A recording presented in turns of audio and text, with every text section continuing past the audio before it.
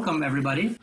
Uh, it's a great pleasure for me to welcome you to this first of uh, Best Abstracts uh, series uh, from the ESG. My name is Lars Aabakken, and I have the honor to chair this session together with uh, Claudio De Angelis from uh, Turin, Italy. Myself, I'm from Oslo, Norway, and we've both been affiliated with the ESG, obviously. This is one way of trying to extract all the um, treasures which uh, unfortunately were not able to be presented uh, during the meeting in uh, Dublin.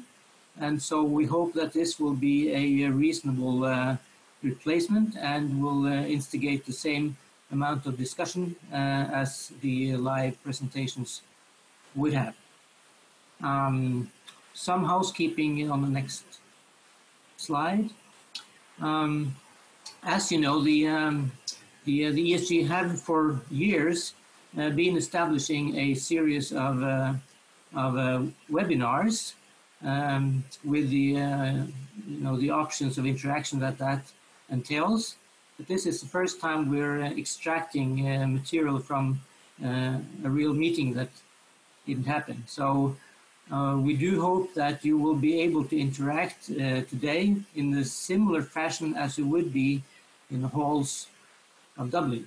And uh, different from the ESG, ESG days, this is, of course, free. Um, the um, uh, abstracts that you will have presented are the top rated abstracts uh, within the area of EUS and ERCP, um, as you can see here.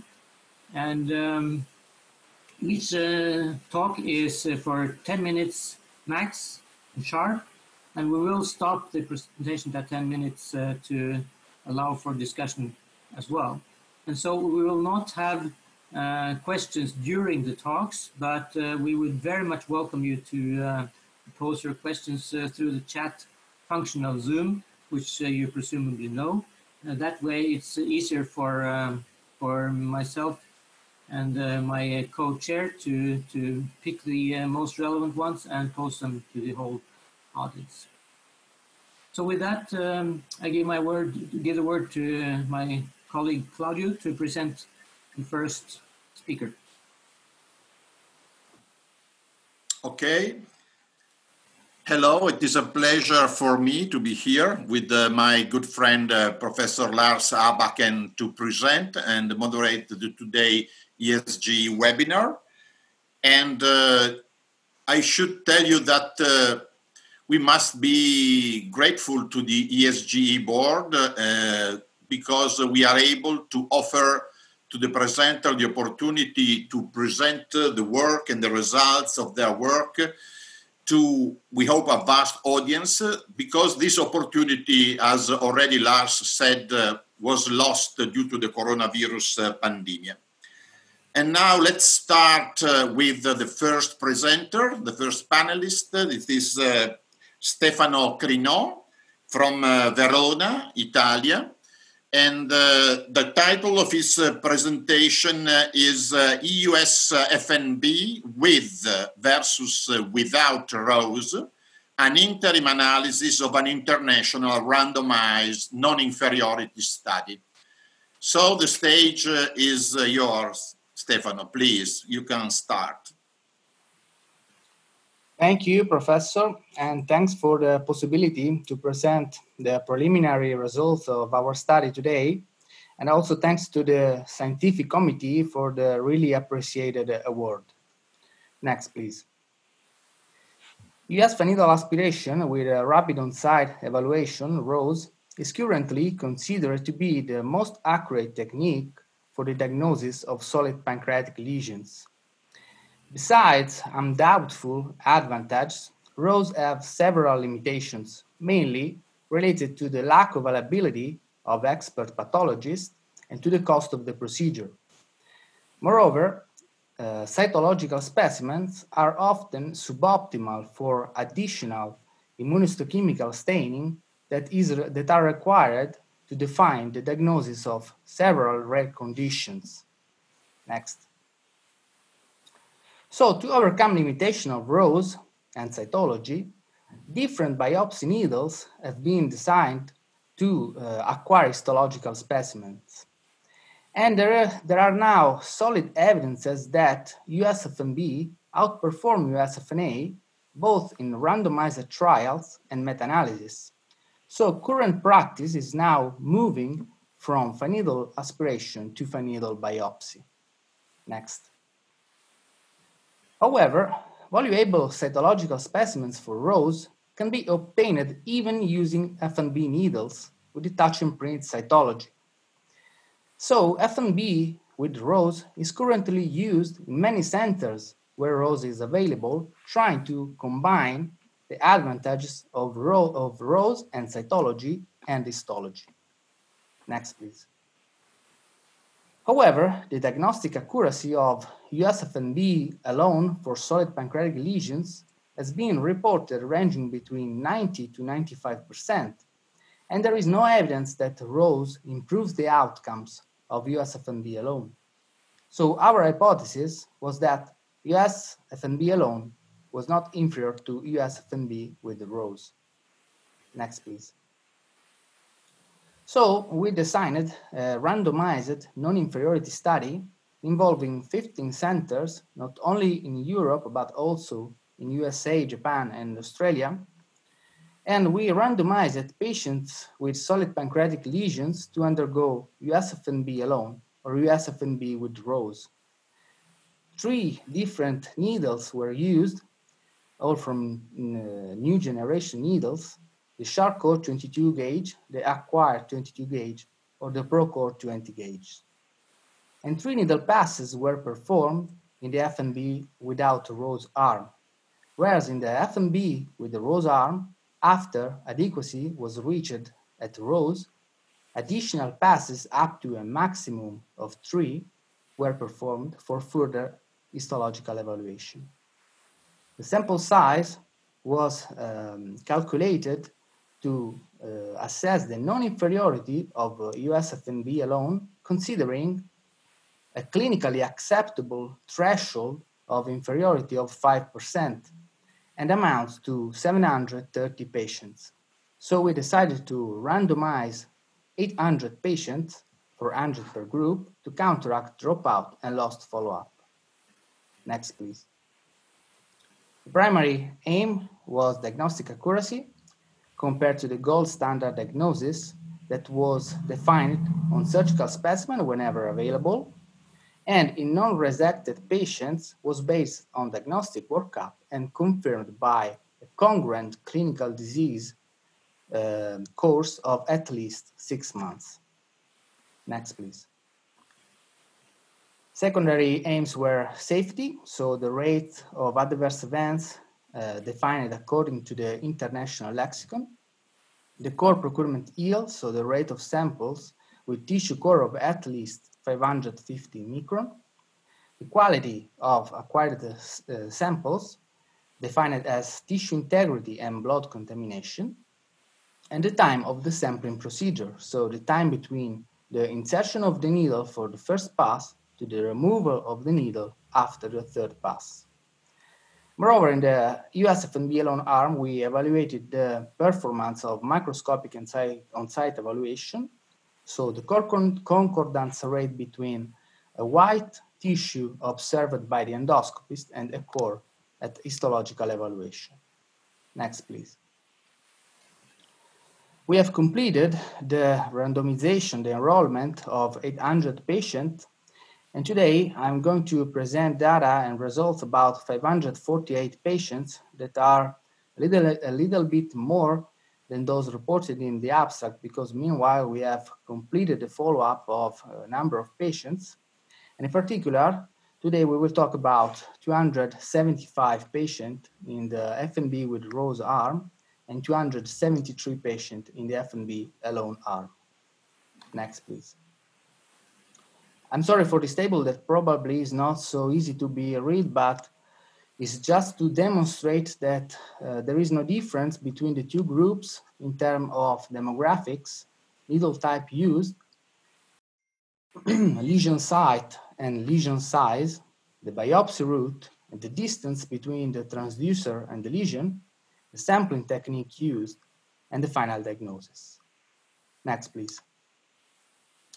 And if you look at the primary outcome results, you can see an impressive 95% of accuracy in the FNB with the rose arm using standard criteria that correspond uh, to 90% of accuracy using more restrictive criteria. But, next please, if you look at the FNB alone arm, you can see that there is no difference between the two groups both using standard criteria and restrictive criteria. Next, please. Moreover, we stratified the primary outcome according to the needle type used, and we found that in the FNB with rose arm, all the three needles used performed very well, exceeding 90% of accuracy. But again, please next. If you compare with the FNB alone arm, you can see that there is no difference between the two groups. Next, please. About secondary outcomes, we found no difference between the two arms in terms of adverse events, core procurement yield, sample quality, both uh, considering the tissue quantity and the blood contamination, but the procedure was significantly longer in the FNB with rose arm. Next, please. Moreover, we compared the performance of the three needles in terms of histologic yield, but we found no differences uh, among the three needles. And MOSE in the FNBA alone arm performed very well with a 95% of concordance between a white core at gross visualization and a core at histopathological evalu uh, evaluation. Next, please. So, in conclusion, uh, our study, our preliminary results show that USFNB with rose has very high diagnostic accuracy, regardless of the needle type used. However, we uh, demonstrated that USFNB without rose performed equally, but with a shorter time of the sampling procedure, and speaks in favor of the possibility to definitely abandon rose. However, we will test the non-inferiority of USFNB alone at the end of the study with a proper sample size. Next, please. I would like to thank all my co-authors, and in particular Alberto Larghi, because we designed and developed the study together. Thank you for your attention. Thank you very much, Stefano, and congratulations for uh, this uh, paper from this abstract. This is only an interim analysis, but quite uh, interesting. As we know, the use of rose has been under debate for many, many years. There's a lot uh, of literature about this, but uh, the current evidence is not concordant and the advantages of rose or not rose remain conflicting. So in the ESG guideline of April 2017, uh, in the ESG technical guideline on EUS-FNA, ESGE equally recommends US guided sampling with or without uh, uh, rose. This is uh, uh, a special uh, field in which we are speaking about the new needles for FNB. And also in this case, the debate is if it is possible that rose can uh, uh, increase uh, the accuracy of EUS-FNB. This preliminary interim analysis of your international randomized study uh, seems to demonstrate that uh, USFNB without rose uh, performs equally than with rose and with a shorter time of the sampling procedure and uh, to me also seems to be very interesting uh, that uh, EUS-FNB with Rose showed very high diagnostic accuracy regardless the histology needle type uh, uh used. So we can uh, have a look with Lars uh, about the question on the chat. Lars, have you seen some? Yeah, so yeah, so again, thanks for a very interesting uh, study. I think it's uh, commendable to be able to present this kind of uh, multi-center experience from uh, several uh, high-level uh, units across Europe. So um, these were all FNB needles, and And um, one of the questions relates to the utility of FNB versus FNA. I think uh, ESG at their latest guidelines did not prefer one over the other. And so um, one question to the presenter would be how do you think these data relate to the utility of FNA with and without uh, ROSE? would that be a similar situation or would that be something different?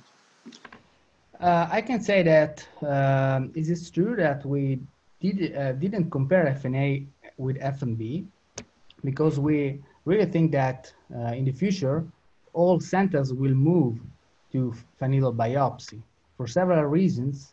Um, uh, also because these new needles has um, have a very good um, histological yield. And uh, I think that there is a, a new, um, really a recent uh, paper that demonstrates that uh, US FNB with ROSE is uh, uh, outperform US FNA with ROSE. And also there is a randomized trial ongoing in Hong Kong comparing FNA with ROSE with FNB without ROSE. So I think that in the future, we'll, we will be able to uh, suggest or not uh, ROSE at all. One more comment about uh, you know preparing slides like this for with an FNB needle as opposed to doing a, uh, cell block in formalin directly, which does not seem to have been uh, used at all in this study. Can you comment on that as opposed to making slides? Is one? Yes, um, you're right, and I agree with your question. Thanks. uh, I can say that touch imprint cytology is not so easy and immediate to, to be performed. So we, before starting the study, asked at centers to um, make several cases with the touch imprint cytology to become confident with it. In particular, while you smearing the tissue, you must be very uh, soft uh, to, um, to avoid a, crush artifact of the tissue and clots. But after um, two, three cases, uh, pathologists were really happy of that. And there is also a study from our centers that demonstrated the quality of, touch, of, of smears from standard uh, FNA cytology and touch imprint cytology is the same.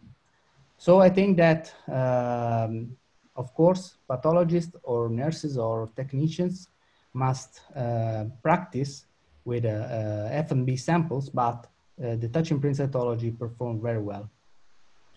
There are also some uh, questions about uh, adverse events and someone asked that if there is a difference in adverse events rates between the three needles used or if you can comment about adverse events for the needles for FNB.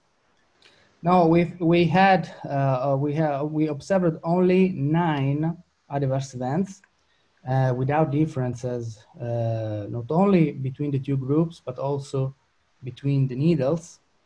Uh, so I think that there is no relation between uh, the type of the procedure, the technique, and adverse events. Adverse events are very very rare. There are also comments. Um, about you know the standardization of technique and whether other elements in the procedure matters in terms of the quality of the sample. I think uh, one strength of this study was that this was not a part of the comparison. So probably what you are comparing is a sort of a overall range of the different uh, techniques in terms of uh, suction, in terms of fanning, in terms of you know those factors which may also play a role, but they probably evens out in such a study. Yes, um, the most common technique used was the slow pull, uh, followed by suction, and in a few cases by the wet technique. However, uh, there are uh, recent meta-analyses that show uh, really not so high differences between slow pull and suction. However, at the end of the study, we probably will perform a post-hoc analysis, uh, something, some like a multivariate analysis to understand if there is uh, or not uh, other factors uh, impacting on diagnostic accuracy. However, I believe that uh, because of very high diagnostic accuracy in both arms, we will not find a, a difference. Okay, I think in the, Claudio, did you have one more comment? Yes, one, one more, one more question. Uh, when you speak about uh, secondary aims and core procurement, you found no significant differences between the three types of biopsy needle. But uh, I think that a relevant point could be not only the number of cores uh, you get, but also the size, the length of the core. Can you give us uh, any comment about this for the three types of needle or not? Yeah, uh, if I think that in this case, for this question, is really, really important the sample size. Uh, we read a lot of paper uh, underpowered.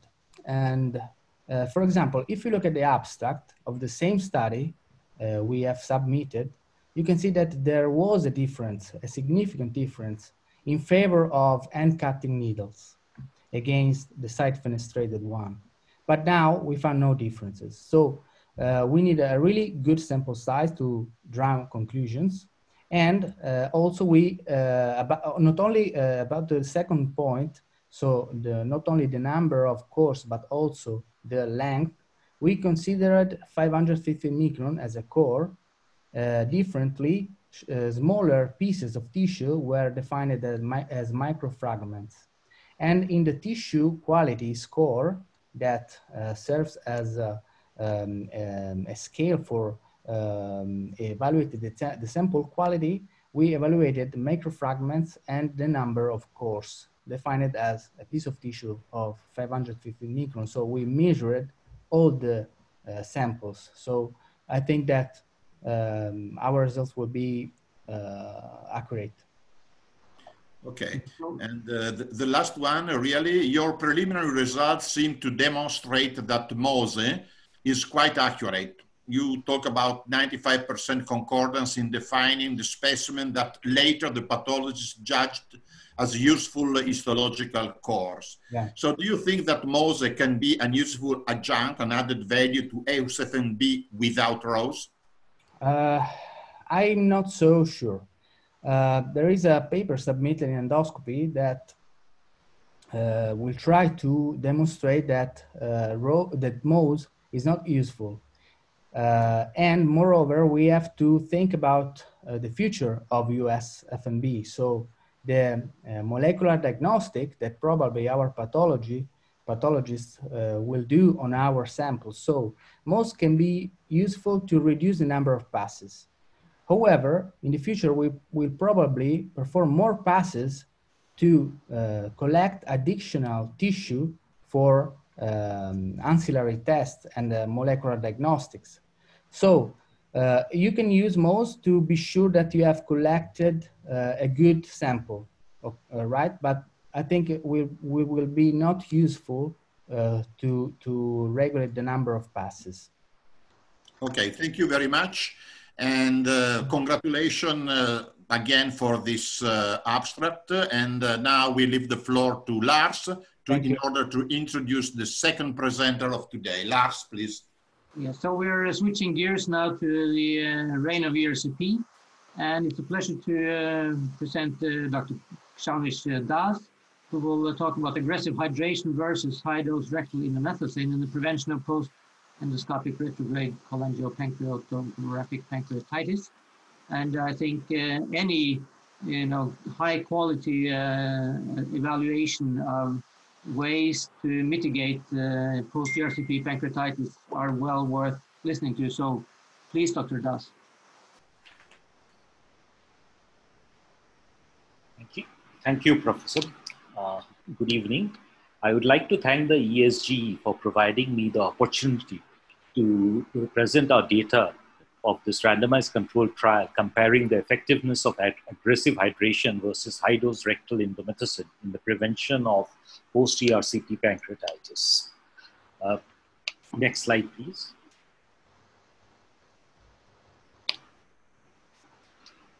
Pancreatitis is an important complication of ERCP.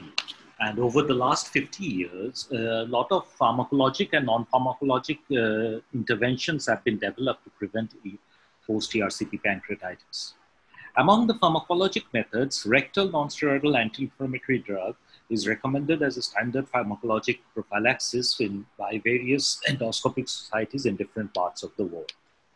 However, recently, vigorous uh, periprocedural hydration with lactated Ringer's solution is emerging as an effective modality for the treatment uh, for the prophylaxis of post-ERCP pancreatitis. There has been no head-to-head comparison between these two in the published literature. Next, please. So the methods, next. this is a prospective randomized open label non-inferiority parallel assigned equal allocation controlled clinical trial in a tertiary care hospital performing a high volume ERCPs. All adults who were referred for ERCP were, were included if they did not uh, satisfy the exclusion criteria. Next, please. The, we excluded patients uh, who were not having a virgin or intact papilla, as well as those having ongoing acute pancreatitis or chronic calcific pancreatitis or pancreatic head mass, and those who are having standard contraindication to ERCP. In addition, patients with significant comorbid illnesses that made them more susceptible to develop uh, uh, complications or adverse effects of vigorous hydration on administration of non-steroidal uh, anti-inflammatory drugs were also excluded. In addition, we also excluded malignancies. Next slide, please. Next, please. The eligible sub subjects, they underwent simple randomization by lottery and blinded allocation those receiving vigorous uh, hydration, those allocated to the vigorous hydration group received intravenous lactated Ringer's solution at the rate of 3 milliliter per kg per hour during the procedure with a 20 cc per kilogram bolus immediately after the completion of the procedure and then uh, again at the rate of 3 milliliter per kg per hour for another 8 hours. Whereas those allocated to the rectal indomethacin group we received per rectal suppository of 100 milligram of indomethacin immediately after completion of the procedure. ERCP was done in prone position with conscious sedation, so using propofol, wire guided cannulation was attempted with a pull type sphincterotome for at least 10 minutes, and then a pre-cut access was attempted as a salvage method. Pancreatic duct stent insertion was uh, at the discretion of the individual endoscopist. Next slide, please. Next, please. Uh, uh, post-ERCP assessment, those receiving vigorous hydrations were monitored clinically for, uh, for their volume status. All patients were observed for at least eight hours in the recovery room and were assessed at two and eight hours for epigastric pain and serum amylase estimation. Severity of pain was assessed by the Likert scale. Those with persistent post-ERCP pain after eight hours were admitted and they were hydrated with intravenous uh, lactated Ringer's solution at the rate of 3 ml per kg per hour. And those who were in the indomethacin uh, arm also received an additional bolus of 20 milligram per kg. All patients were contacted at 24 hours for development of post-ERCP pancreatitis, which was managed according to standard guidelines. And everybody was contacted telephonically after seven days after ERCP to uh, capture delayed adverse events. Next slide, please. The primary outcome was the incidence of post-ERCP pancreatitis as defined by Cotton's criteria. Among the secondary outcomes, we looked into the incidence of post-ERCP pain, elevated serum amylase, post-ERCP pain lasting less than eight hours, severity of the post-ERCP pancreatitis, clinical volume overload, other post-ERCP complications, and death. All analysis was done by intention to treat. Next slide, please. Next slide. Assuming a, a pancreatitis incidence of 9% in the indomethacin arm and a non-inferiority margin of 4%, the minimum sample size of 171 patients in the two arm was calculated. Uh, the null hypothesis stated that the vigorous hydration is inferior to rectal indomethacin. The trial was registered and the ethical clearance was obtained. Next slide, please. The demographic and ERCP uh, procedural data was collected Endoscopic experience was classified arbitrarily as early and advanced. The presence of risk factors for post-ERCP pancreatitis were also documented. Next slide, please. Uh, statistical analysis was done. Mean, median, standard deviation, range, and proportions were, cal were calculated as appropriate. Uh, Pearson chi-square was used for categorical variables and student t-test and Mann-Whitney U was used for continuous variables. For the primary outcome, odds ratio and absolute risk reduction were also calculated. A p-value of 0.05 was considered significant. Next slide, please. Now let's look at the results. Uh, 521 patients were assessed over a period of five months from October 2017 to February 218. 352 of them were eligible and randomized. 178 were allocated to the hydration arm and 174 for the indomethacin arm. Thus, the intention to treat the population was 178 and 174 respectively. Next slide, please. Uh, this slide gives the baseline characteristic of the two arms, which was uh, which we just want to show that the two arms were evenly matched with regard to age, sex, BMI, grading of procedural severity, and the risk factors for post-ERCP pancreatitis, as well as endoscopist experience and placement of pancreatic duct stents. Choledocholithiasis was uh, uh, uh, significantly more common in the hydration arm than in the indomethacin arm, whereas indeterminate biliary stricture was partially more common in the in indomethacin arm. Next slide, please. Uh, the two arms were the, uh, the, results of the two arms were not statistically dif uh, different with regard to the rate of cannulation success, inadvertent PD entry or precut access, or therapeutic success. Two thirds of the patients had more than three or more risk factors for post ERCP pancreatitis. However, none of the patients had a prior history of post ERCP pancreatitis or recurrent acute pancreatitis or underwent ERCP for uh, sphincter of Oddi dysfunction. No patients were lost to follow up by, at the end of seven days. Next slide, please. Uh, the primary outcome, the post-ERCP pancreatitis incidence was 0.6% in the hydration arm and 2.9% in the indomethacin arm, with an absolute risk reduction of 2.3% and an odds ratio of 0.19. This was not statistically significant. Next slide, please. Thus, the null hypothesis was rejected. Next, please. There was no significant difference with regard to the secondary outcomes between the two groups with respect to the post-ERCP pain or uh, uh, uh, post-ERCP pancreatitis severity or other post-ERCP complication as well as death. None of the patients in the hydration arm developed any clinical signs of volume overload. Next slide, please. Thus, in conclusion, vigorous periprocedural hydration with lactated Ringer's solution is not inferior to post-procedure high-dose rectal indomethacin with respect to the prevention of post-ERCP pancreatitis. Next slide, please the main limitations of our study was that it was a single center study where overall the incidence of post-ERCP pancreatitis was low. Thus, whether uh, vigorous hydration is actually better than rectal indomethacin was could not be adequately answered in our study. Uh, we have a strength was that it was a prospective randomized trial with sample size calculation, standard accepted outcome measured, and a non-inferior design. Next slide, please we, uh, none of us had any uh, potential conflicts of interest to declare. And I would like to thank, take this opportunity to thank all my colleagues and the endoscopy staff for allowing us to perform this study. Thank you. Thank you, Dr. Das. That's uh, excellent data. Um, I think your biggest problem is your success. Uh, because with these numbers, uh, these low numbers of post-ERCP pancreatitis, uh, it's almost impossible to show any kind of differences, isn't it? Yeah. Can you, explain, can you explain why they were so low? Yeah, uh, one, I mean, all of our patients were receiving one form of prophylaxis or other. Either it was rectal indomethacin or vigorous hydration. Moreover, none of our patients had a past history of post-ERCP pancreatitis or a history of recurrent acute pancreatitis, or the indication of ERCP was not for sphincter of Oddi dysfunction. Now, these are actually very high-risk procedures for uh, post-ERCP pancreatitis. although the ADA study majority, I mean, it was a relatively young cohort with uh, almost 70% were uh, females.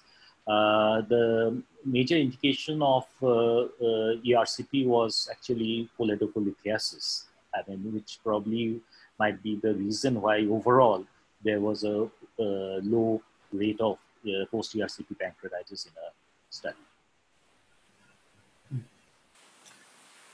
Okay, there is uh, one question about cannulation time or probably sort of the um, fumble factor. Did you measure that or did you have any sort of uh, indicator of when uh, the um, uh, cannulation was a struggle? Yeah, I mean, we, had a definition of at least we tried for 10 minutes was a, a standard cannulation time. And if it was not successful, then we could uh, use a salvage procedure like pre-cut or uh, usually a needle knife uh, sphincterotomy, uh, fistulotomy or Okay. Okay. I think these two ways of protecting against pancreatitis are very different. And ideally, we would like to be able to stratify patients to one or the other depending on some other factor. Do you have any idea whether some patients lend themselves more to hydration versus indomethacin, or should uh, everybody have both? Or, I mean, why wouldn't you combine them?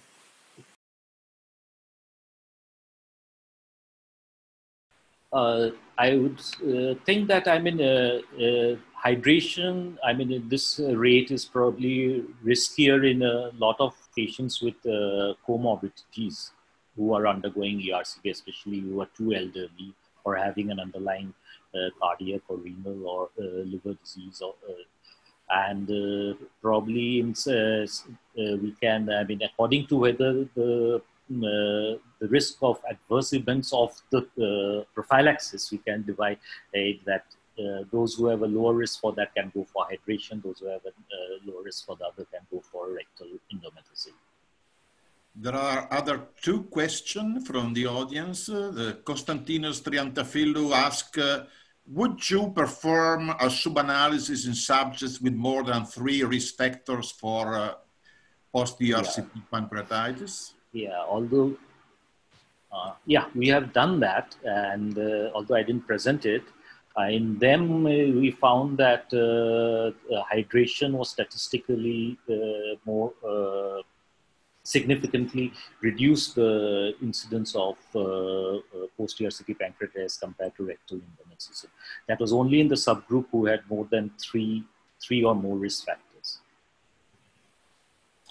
and uh, might be useful to have a third arm with patients who have both fluids and indomethacin.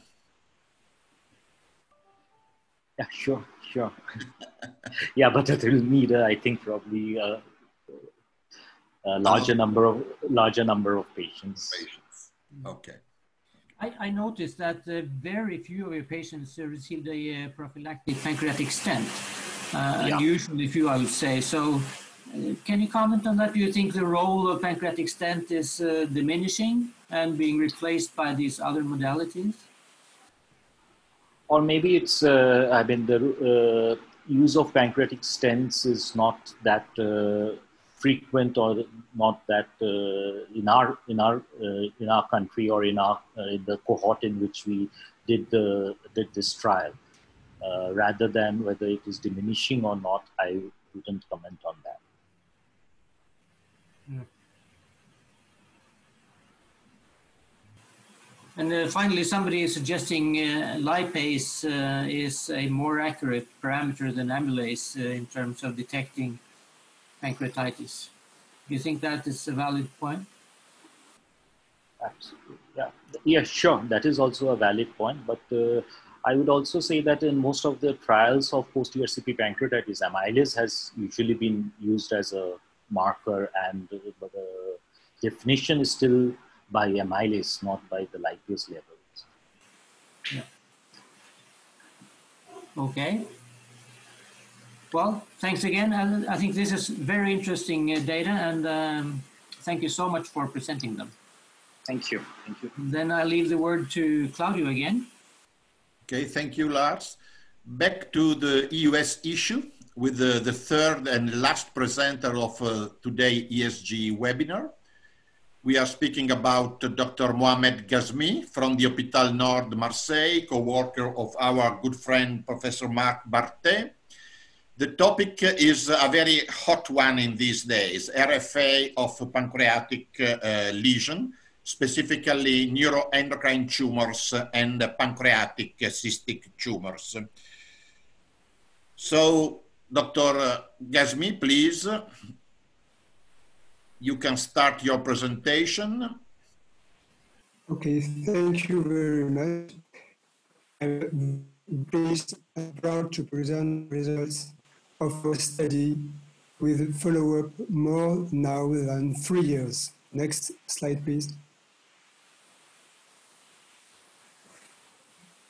This is multicentric prospective French study which include net lower than two centimeters, branch duct IPMN with worrisome features, MCA. 30 patients were included. Initial follow-up was one year and then extended over three years. Next one, please. How to do the RFA with general anesthesia, antibiotics prophylaxis, and NSAID. In case of cystic tumor, we have to suck partially the cystic fluid content. Here is the generator with a setting of 50 watts current. And then the RFA needle is a 19 gauge. And on the left, you have the freezing pump. Next one, please. Next. This is a film. Okay, this is a typical net located in the body of pancreas with hypervascularization in signal Doppler and after injection of SonoVue. We apply the RFA needle 19 gauge easily in the lesion and apply the current until white bubbles appearance. And then we apply a second shot in another part of the lesion and apply the current until white bubbles appearance. The control show no vascularization after SonoVue. So the treatment is complete. Next one. The second case, next. The second case is an IPMN with mural nodule. The first step consists to suck partially the fluid in the lesion, and then we apply the RFA needle until white bubbles appearance in the lesion. We apply a second shot in another part of the lesion until white bubbles appearance, and then the control showed no complication in pancreas and in the vessel near the pancreas. Next slide, please. What are objectives of our study? The primary objective is anti-tumor efficacy at least three years follow-up. Results were classified as complete resolution when disappearance or necrosis are noted significant response when decreased more than 50% or complete restoration are noted, and failure when decreased lower than 50% or no effect are noted. Next slide.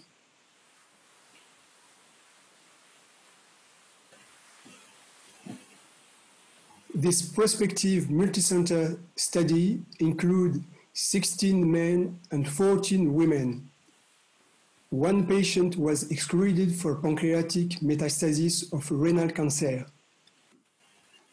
At inclusion, there were 12 patients with 14 nets with a 30, 13.4 millimeter size and 17 patients with PCN. 16 of them had IPMN and one patient with MCA with 29.1 millimeter mean size. 12 of, 12 of them had mural nodules and four increased thickness of the seized wall. Next slide. What are uh, the efficacy in net? All the patients were followed at least three years with mean 45.6 months. Despite one patient died at 42 months follow-up from suicide, he had complete disappearance of the two NETs treated. So the results, at one year, we have 12 disappearance, and at three years, one late recurrence. At one year, we have two failures, and at three years, we have one late success and one metastatic evaluation. The final results, we have 85% uh, success. So look now for the patient, look now to the patient with metastatic evolution. He developed liver metastasis 13 months after a secondary RFA initiation, the second lecture of the pathological examination of the first FNA was corrected from G1 to G2 of the WHO classification. Next slide. Now, results in PCN.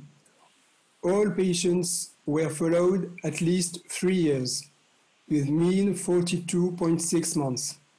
Three patients died, from hepatocellular carcinoma, stroke, and distant pancreatic cancer with metastasis. Two of these three died patients had distant pancreatic cancer. They, they, they, they were for IPMN located in the head and developed pancreatic adenocarcinoma in the tail without previous cystic lesion, so probably related to PANIN. We can see uh, we have stable significant response with 69.8% at one year and 66.6% at three years. We have no late recurrence and no mural nodule. Next slide. The long-term outcome now, three patients had immediate complications following EUS-RFA. One pancreatitis, which was conservative, conservatively managed, one duodenal perforation, which was surgically managed, and one pancreatic duct stenosis, which was endoscopically managed. All uh, the patients recovery without sequela and the complete disappearance of the initial lesions. No delayed adverse events related to the initial station during the follow-up. Please, next one, please. In conclusion, EUS-RFA management of pancreatic net or PCN is associated with an efficient long-term outcome. Take care to distant pancreatic adenocarcinoma in case of IPMN or one late benign recurrence of NET, which requiring an accurate and sustained EUS follow-up. Uh, we have no late complication. Thank you for your attention.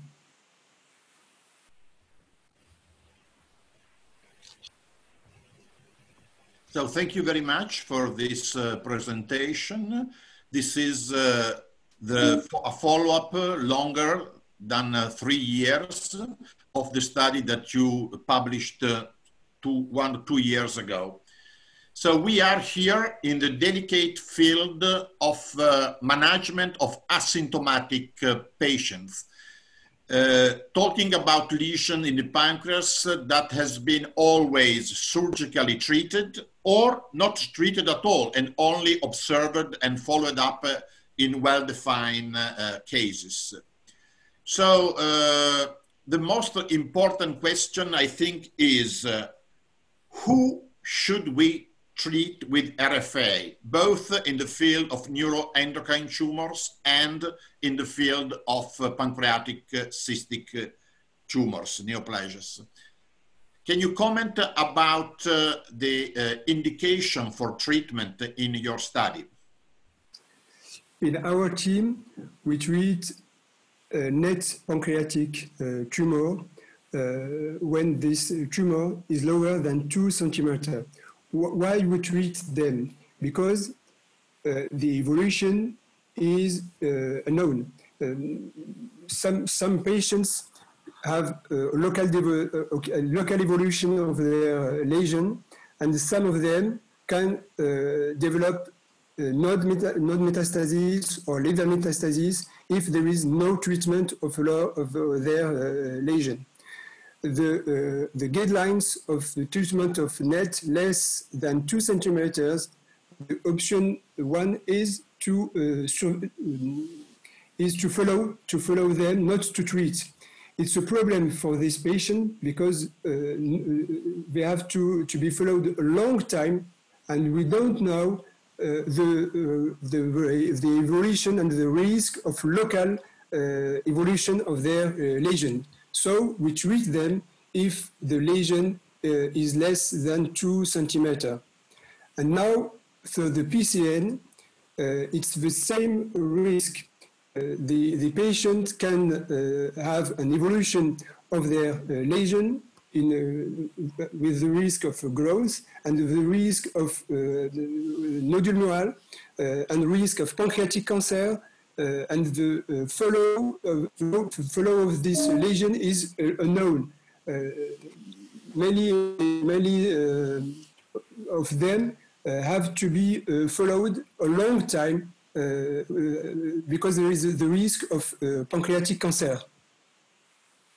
Okay, thank you. And I have another, just a technical question you suck the cystic fluid uh, before applying RFA in the pancreatic cystic lesion, but uh, you use the same RFA needle or you use before a normal FNA needle and then you puncture with the RFA needle? Uh, the first step uh, is to uh, sec partially the lesion with a, a 19 gauge needle not, not, with the uh, RFA needle, with another uh, fine needle. And we have to suck partially.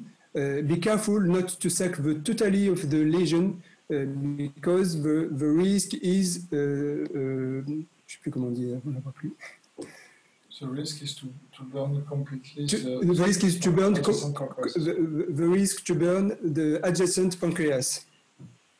Okay. And we have to suck partially uh, only.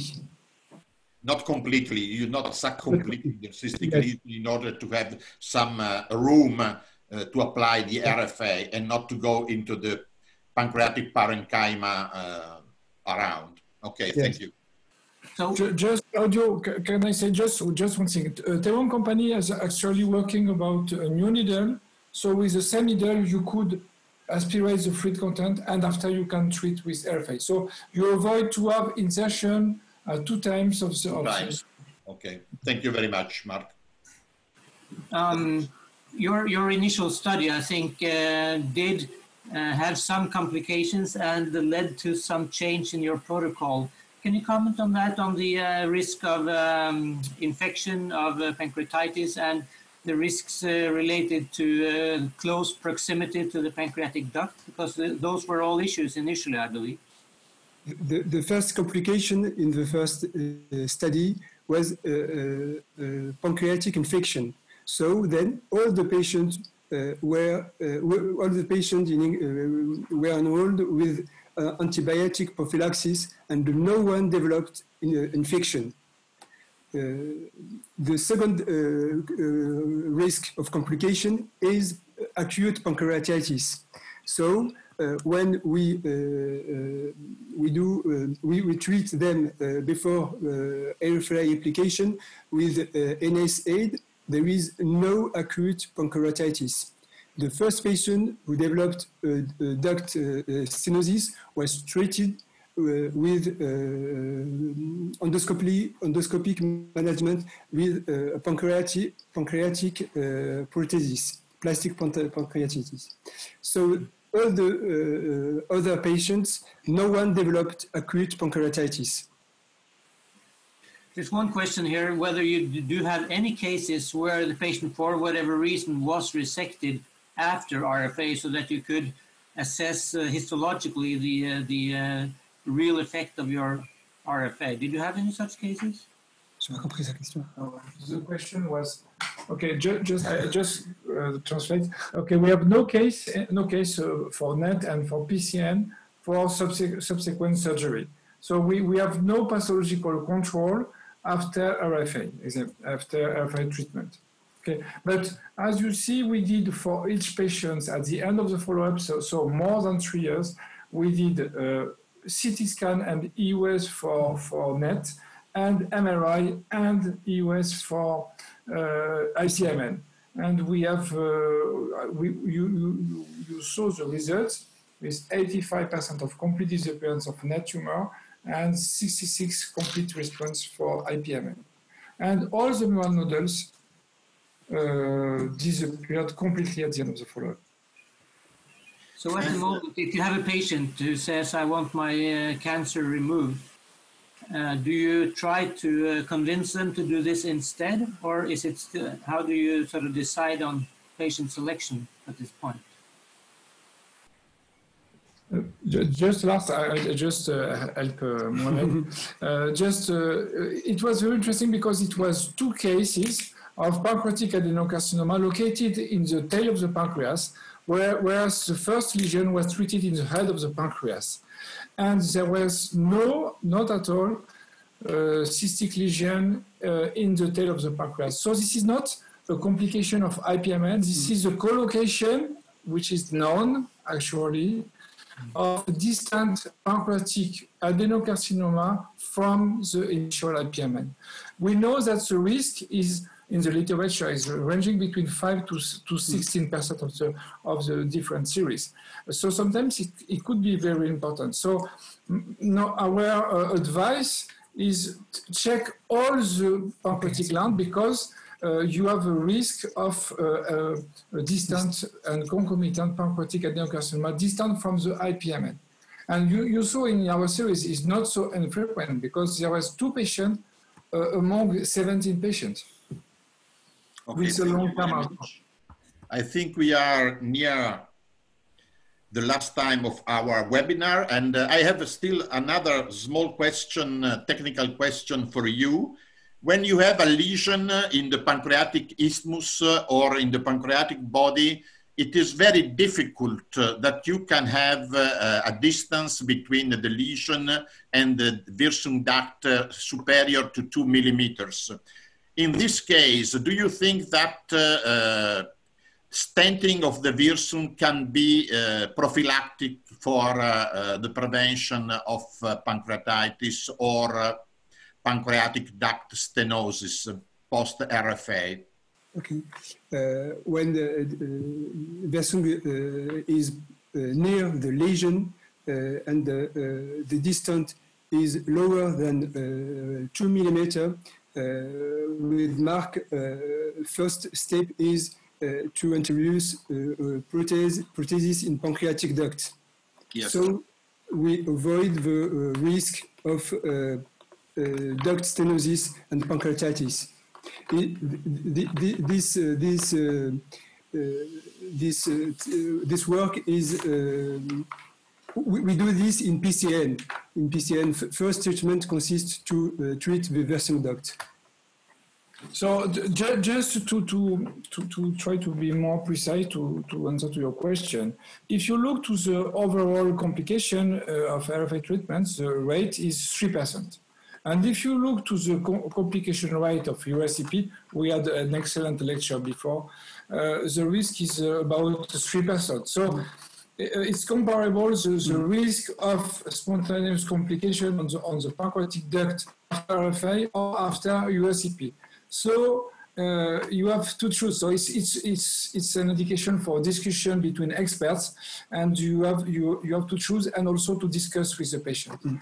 But we, we, in, in, if we have a, a, distance less than two millimeter, always we discuss first with the patient and with our, our other experts. Mm. For, do we do we need uh, uh, pancreatic stenting before or not? Because the risk is comparable, three percent. Very good, very good point. Thank you. Okay. So, I think we can go towards the end of this uh, webinar. Can we have uh, the last uh, slide. Uh, I can tell you that uh, the recording of this webinar will be posted on the e-learning section of the ESGE website. there you can already find the past webinars.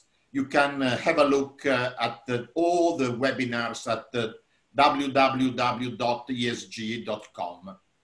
And uh, for sure, we have to thank the ESGE governing board. And also, I think for uh, the, this webinar related to the ESGE days, uh, also the ESGE Day Scientific Committee, but mainly today to the webinar team. A lot of thanks to Claire Guy, David Inker, Nina Menard, and Veronica Bonalumi. Thank you very much for your very good cooperation, uh, for uh, the, I, I, think, the good uh, uh outcome of this webinar. The, the next webinar will be on June 10 uh, next uh, uh, Wednesday, Wednesday, yes. it will be again about the best abstracts from ESGE Days 2020 in Dublin about the topics of upper GI and lower GI. And uh, I think that uh, with uh, this slide, we can stop with this seminar. Lars, if you want to tell some words anymore. Thank you so much, Claudio, for excellent co-moderation and um, all have a good evening. Good evening to all of you. Yeah. Good evening. Good evening. Evening. Bye bye. Bye bye. And congratulations for the organization.